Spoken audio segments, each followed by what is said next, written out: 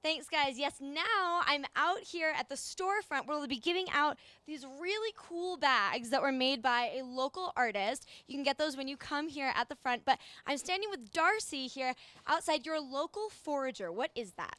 Uh, a local forager at Whole Foods Market works directly with our communities, bringing the coolest products in the markets we're in. The best job. I totally do. And so some, you know, one of our favorite locals is Tagge's, and they provide all your beautiful pumpkins, right? Right. Uh, Thane is a first generation farmer. He actually used to be accountant. Um, he loves Utah produce. They started growing blackberries.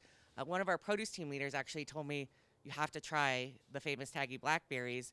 Um, we loved them. Uh, they're now growing different things for us all year round. Every gourd and pumpkin and hard squash in the store right now is uh, from Tagge's Famous Farms. We've got, I think, 12 different varieties. Um, my favorite one right now is the wolf pumpkin. Uh, it looks the most like fall of anyone. Perfect. And so obviously you get to try a lot of products from around Utah. What are some of your favorites? Well, one I am really excited about is Ritual Chocolate. They're amazing chocolatiers in Utah, but Ritual has partnered with us to open their own cafe within our store for drinking chocolate, coffee, fresh made truffles. Um, and they're also a local loan recipient with Whole Foods Market.